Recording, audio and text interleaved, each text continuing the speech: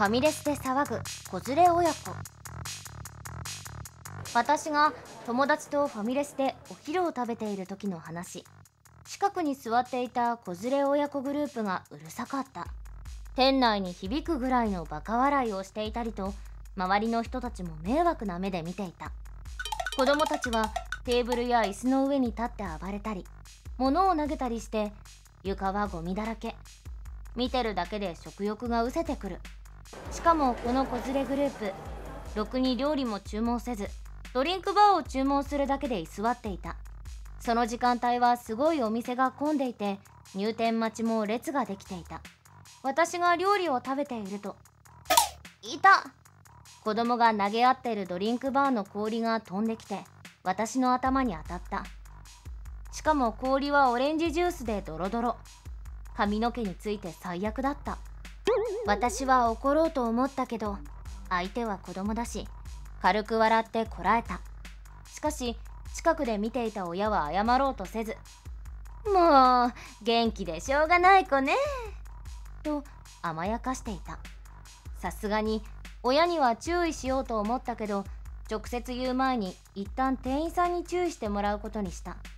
そこの子連れの人たちさっきからうるさいので注意してもらえますか？ご迷惑をおかけします。大学生ぐらいの店員さんが注意しに行ったところ。何よ。子供が騒ぐのは当たり前でしょ。あんたどうせ子供育てたこともないくせに偉そうに言うんじゃないよ。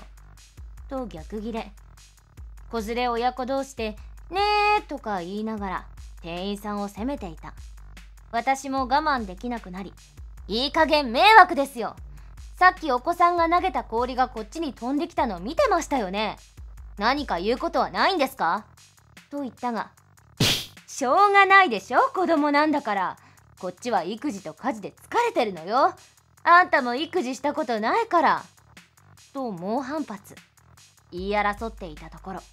近くに座っていた50代くらいの男性が来て育児できてないのはお前たちの方だ。しつけができていない子供を人が食事しているところに連れてくるんじゃない。料理も注文せず食事する気がないなら出ていけ。と一括。男性の気迫に負けたのか子連れグループは黙り込んでせっせと帰る準備をする。さっきまではあんなに威勢が良かったのに男性の一括には何も反発もできず打たれ弱いんだなーって思った。しかし会計してるのを見ていたら子連れ親子は反省している様子なく。さっき変なおじさんに怒鳴られたんだけど。こっちは客なのにこの店はどうなってるのよ。今度本社にクレーム入れとくわよ。と店員に八つ当たり。それを聞いていた来店待ちの男性に「お前たち自分たちが何をやって注意されたのか分かってんのか?」とまたも叱られる。子連れ親はビクッとなりまたも即だんまり。来店待ちしている列の人たちに嫌な目で睨まれながら奴らは帰っていった。